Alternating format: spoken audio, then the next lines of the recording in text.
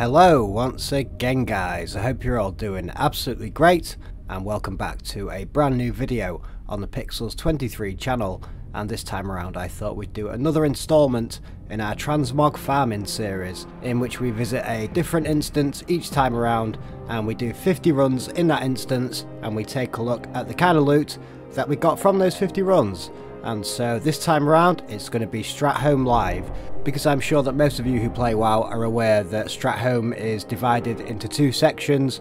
Uh, some people call it like the live and undead sections, so we're going to do live in this video, we're going to be on the live side, and uh, we're going to do full clears guys, and this that you see on the screen right now is actually my 50th and final run, so I recorded that for you all, and I've sped it up a little bit so we get through it a little bit quicker but it's just to show you the actual route that I take. It's a really really easy run. It's just like you go around in a big circular motion and then head inside uh, to actually kill the living mobs. So yeah this is just to give you guys an idea of the run itself as I say. And then after we've done this I will go ahead and uh, show you all of the loot that we got from the 50 runs guys and I'm going to split it down into 10 run sections. So I'm going to show you the loot from the first 10 runs and then the next 10 runs and so on and so forth. So I will just let this run uh, actually finish and then we'll go ahead and take a look at the loot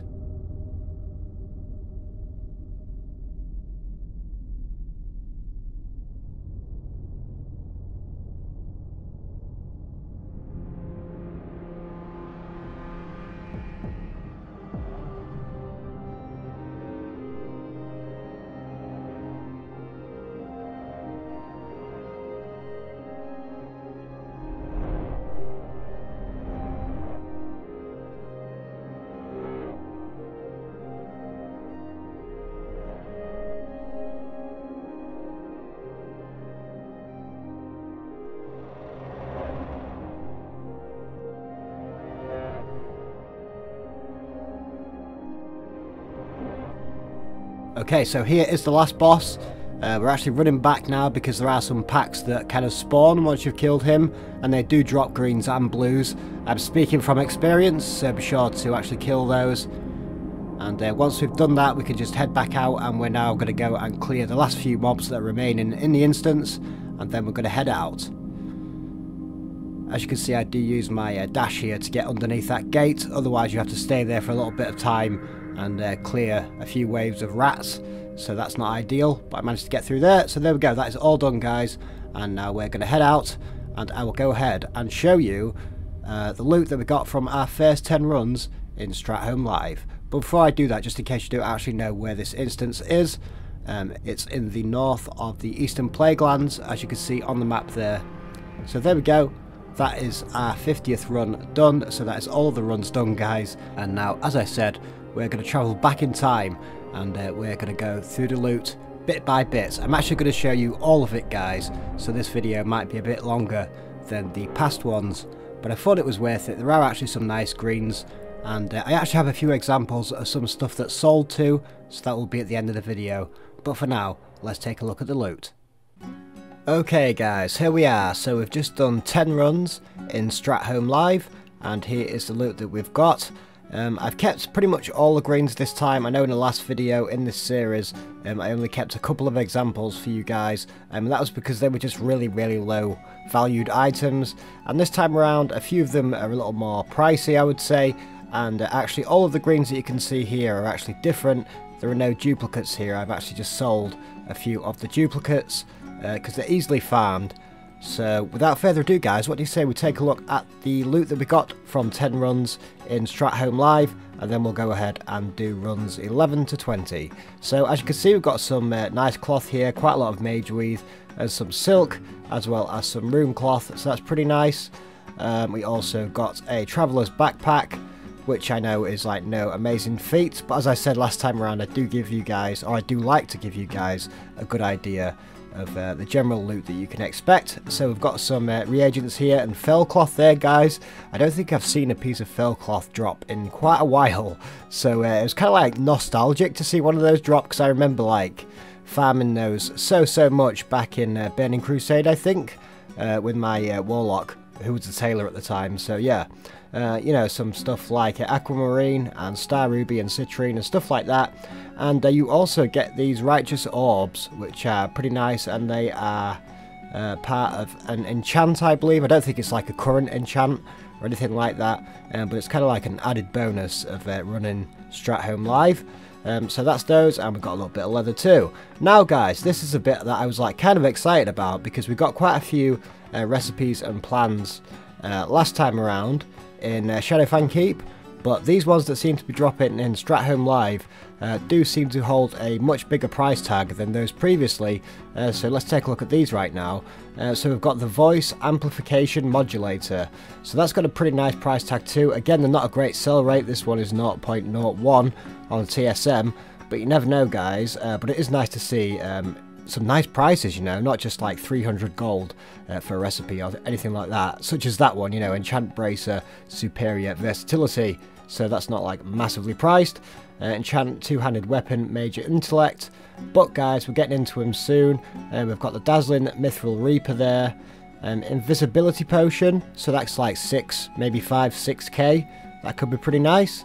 Uh, a parachute cloak, which I don't actually have myself, uh, but we'll see about selling that. That's 2 to 3k apparently. Um, again, similar price, similar price for Dazzling Mithril Rapier.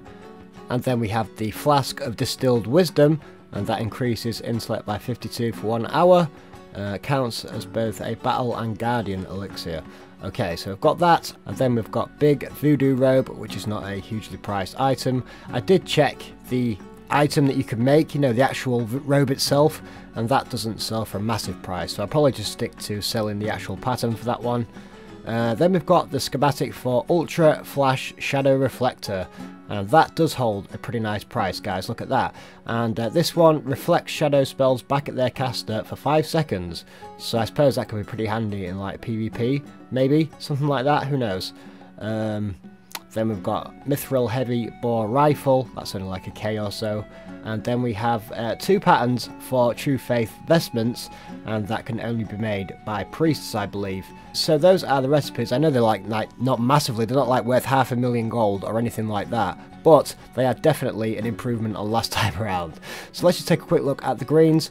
Um, I'll just skip through them so you guys can have a look, and um, you can take a look at the prices too that are listed there for TSM. Again, these aren't like massively priced items, but we'll just throw them on there anyway. Look, we've got like 2 to 4k there, so who knows? We might sell a few of them, guys. And I currently have the items that we got from Shadowfang Keep on the auction house right now. And uh, I'll be selling these ones straight after I've done this little clip here. And then I'll be heading back to Stratholme. So I'll have like Stratholme and Shadowfang Keep loot going at the same time on the auction house.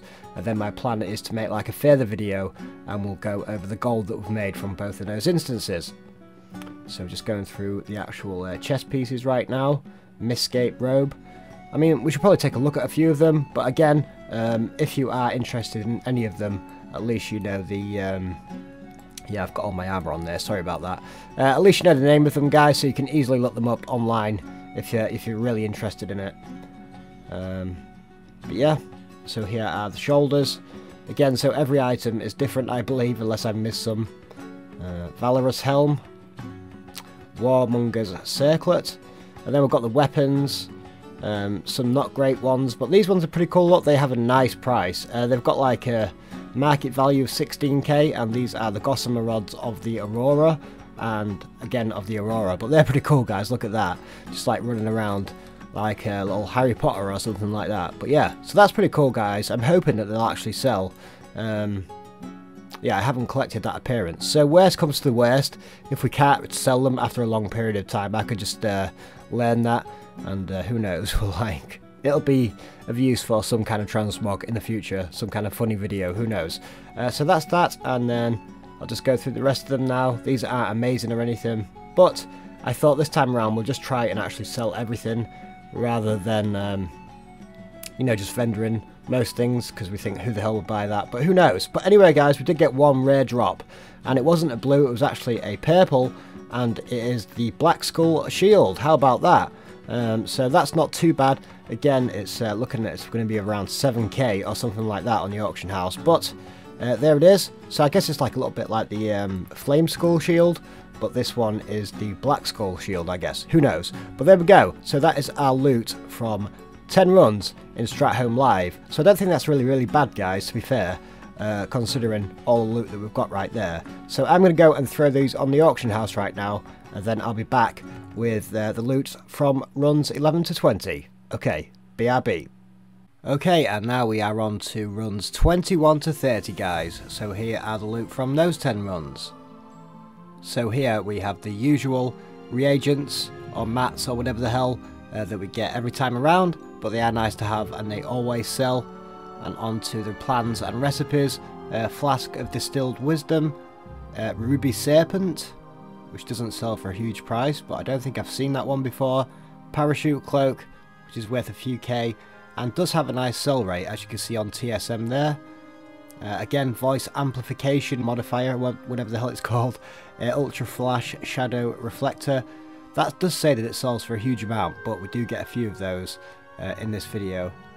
Uh, elixir of giants, uh, two-handed weapon, major intellect. That's probably the most common enchant they actually got during my 50 runs. I think, um, well, I don't even want to guess how many I got, but look at that guy's riding skill. And it says that does sell for a very, very nice amount, although the sell rate is not great. But hopefully we could sell that. And another major intellect right there. So we are on to the weapons now. And again, I'll just go through these so you guys can take a look.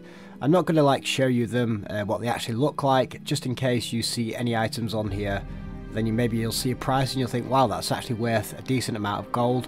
Uh, then you can just like look at the name and you can put it in Wowhead and uh, you could just do it that way I guess if there's like any items uh, that take your fancy but I did want to show you this one that is really really cool that's the Regal Star. And uh, just look at that guys so the Royal Star one of the two I can't remember. As I said I'm doing this voiceover uh, post video um, but that is a pretty nice item uh, to have. Now we're on to the boots. As you can see I've put all of these into uh, order. So like, you know, all of the uh, boots with the boots and all of the gloves are with the gloves, just to make it nice and easy for you all, just in case, like I say, you want to go ahead and check any of these items out.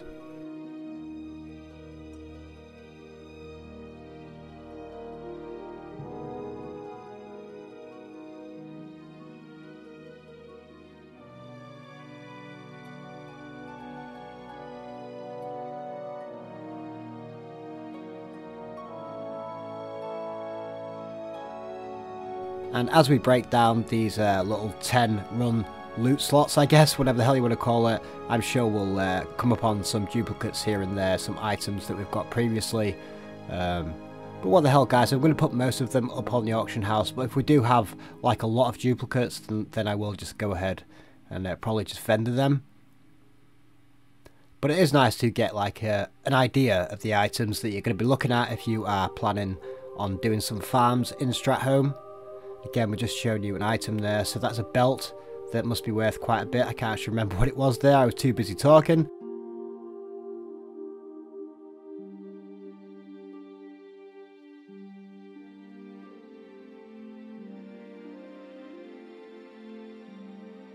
So yeah, Hibernal Robe, that's like got a crazy price, but that's just probably somebody's inflated price on the auction house there, so I wouldn't uh, trust that one too much. Uh, the Chieftain's headdress, that is pretty nice, but again, not a huge sell rate. Well, a, a decent sell rate, but not a huge sell price.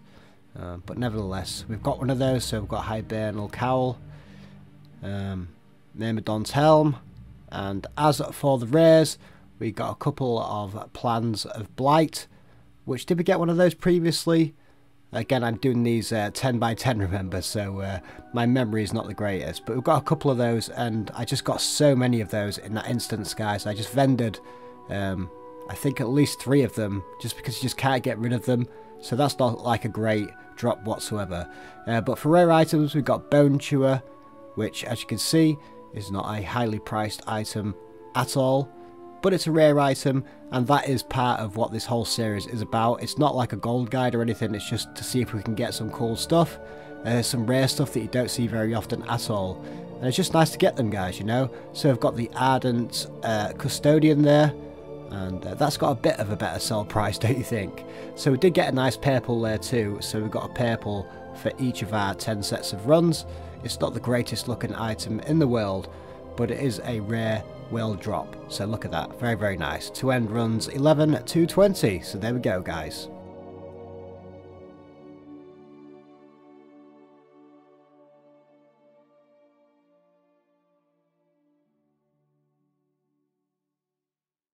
Okay, it's time for runs 21 to 30 guys. Here we go once again.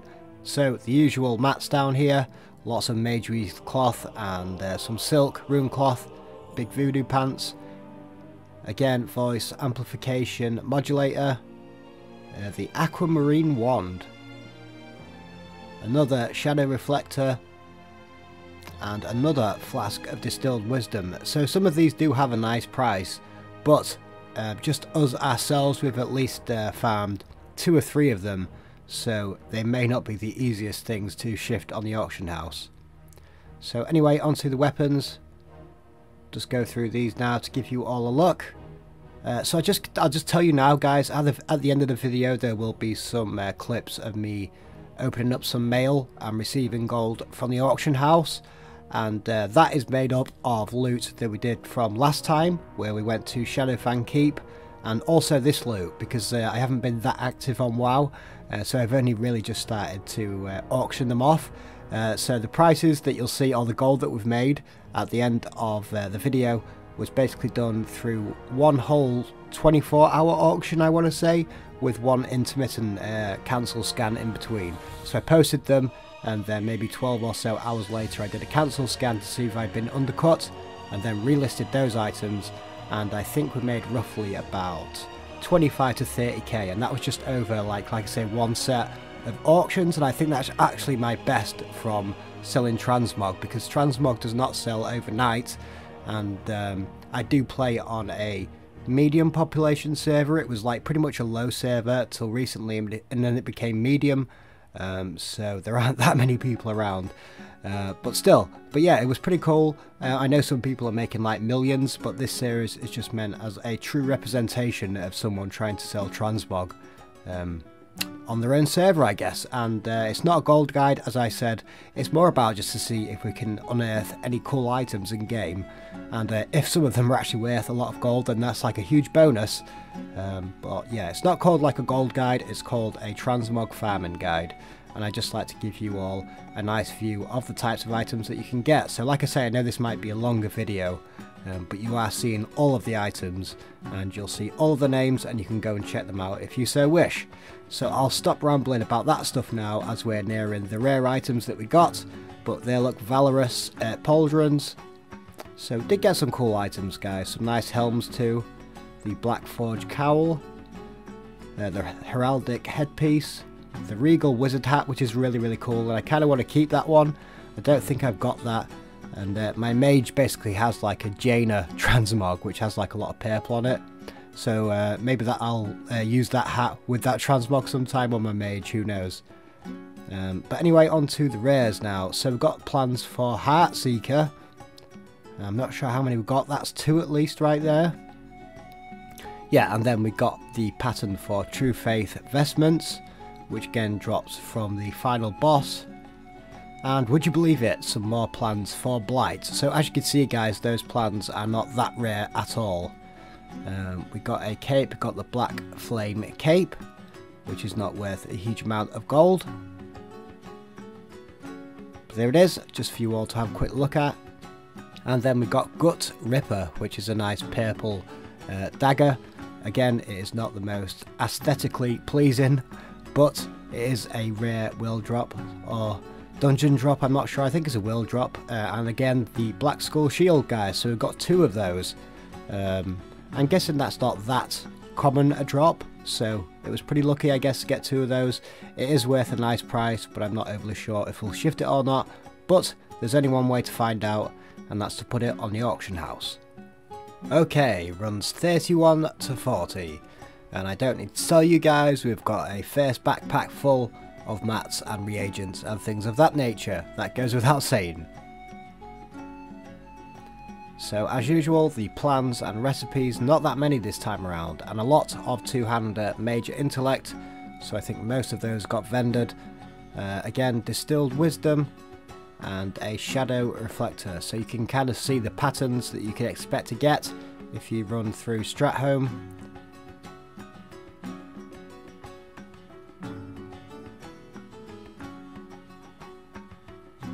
and with the greens you can see we're ranging from like 200 gold up to well look at that one that's supposedly around 30k but um, a lot of these are inflated prices sometimes uh, but you never know guys, sometimes you strike it lucky and usually it's items that you don't expect to sell that actually end up selling and you will see that in the end of this video with a couple of items that I just wasn't expecting would sell at all. Um, but they did, so that's just how it goes sometimes.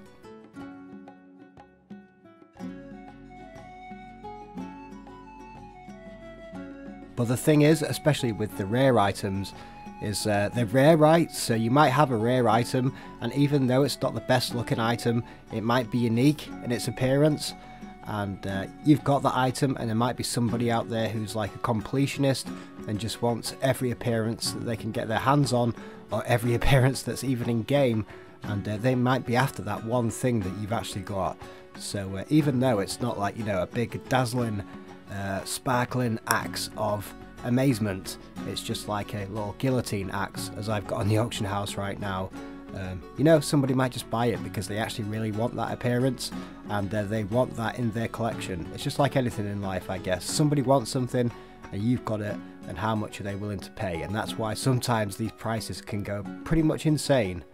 Um, but yeah, like you know, the glorious leg plates, they're a green item, but uh, back in the day when people were farming uh, Ahn'Qiraj, uh, they were like 300k or something crazy like that. It was insane, although they are a bit more uh, common nowadays. So anyway, we're getting up to the rare items, and can you guess what these two plans are here, guys? Can you guess? Can you guess? Yes, it's Blight. Once again, look at that. We've got more Blight plans. A couple of those, so they can go straight to the vendor. Uh, so here are the rares that we got. We got the Wand of Elistage, I think it's called. Something like that. Alistage. Sorry if I'm pronouncing that wrong. I'm also uh, watching this video back from my editing suite, so it's not like full screen or anything. so uh, a couple of the names have been uh, pretty hard to read. Uh, but we've got the Edgemasters handguards too, guys, and uh, that's supposedly around 8k. But they do look really, really nice, though. I have to say, I do like those gloves. And uh, if they don't sell I will happily keep those. And that's another great thing about doing this you know. It's not always about the gold. Sometimes you just get some really really cool items uh, for your main character that you just didn't have before. And uh, you know if you're into transmog you can like work a whole new transmog out of it. So uh, there are, there's always a silver lining guys. Uh, but there we go. And there's the one too by the way. There's a quick look at that. So there we go guys Okay, we have made it, and now we are on to our last 10 runs. Yes, this is runs uh, 41 to 50, guys. This is our last 10 runs in Stratholme Live. I won't go over all of the mats. So, uh, we've got plans blue glittering axe, radiant breastplate, uh, golden hair, mithril spurs. Uh, again, major intellect on the two-hander there, Elixir of Giants and Blue Glittering Axe again, which is worth a couple of K apparently, uh, but we'll see about that. But yeah, I just do want to reiterate, I guess, that this is not a gold guide at all, guys. Uh, this is just uh, an experiment, I guess. Well, not even an experiment. It's just I like to farm. You know, some people, I guess, just like farming, even though it seems like a crazy thing to do to other people. Uh, but the promise of rare loot is just too much for some of us to resist, I guess. Uh, but yeah, I just do it to basically show you, you know, like I said before, a true example of uh, loot that you can expect from running an instance 50 times over. I know some people on YouTube do like 100 runs. Um, I know that's like a huge, huge amount of runs, and it is a big investment. Even 50 runs is a big investment. And uh, in some instances, it can be really, really draining, especially if they're long instances. Because uh, I usually do full clears, uh, but Stratholme Live was like really, really linear and it was over super quick and I do highly recommend it um, if you're after some of these items that you see here. And uh, who knows you might make a bit of gold. As I said we've made around 25k I think maybe just a bit more up to now. There are some more things that have currently sold on the auction house. Maybe I'll like record that and put that in the video too. Uh, but after this I will show you like I said a couple of clips of me opening some gold on the auction house. I think it's about 22k that you see me opening up, but you will see some of the items that actually sold. So anyway, we're on to rings now. Uh, they're not huge sellers as uh, the same can be said for necklaces. Uh, braces aren't that great either, by the way. Um, but some weapons are pretty cool. Some of them sell pretty well. Um, I've had pretty much most luck with weapons, I think. But you can see a few of them there. And most of them uh, range around the 1000 gold mark. Just shy or just over. But if you do get a few of them sold, they do add up quickly, and that's the main thing. You're in transmog selling for the long haul, so it's not like about making gold overnight. Unless, like I say, you get that magical item that uh, you have been looking for. And as for our rare items, we got the Ankh of Life, which is a trinket, again, heal your target for 29, so that is not going to be a big seller whatsoever. I'm not even sure about putting that on the AH, but it is a cool thing just to get a rare item like that. And then we've got the Ring of Saviors, so again, this is not a perfect item to have dropped uh, to be selling. But anyway, that is our 50 runs, guys, and as I said, I've gone over all of those items for you there, so you can look any of them up if uh, you fancy farming them for yourselves. So thank you for watching this video, I really really do appreciate it, and I'll be back very very soon with some more World of Warcraft content, and I'll just end the video with a little shot, as I said, of me opening up some gold just to show you the items that people have actually snatched up. So until next time, do take care guys, behave, and as always, bye for now.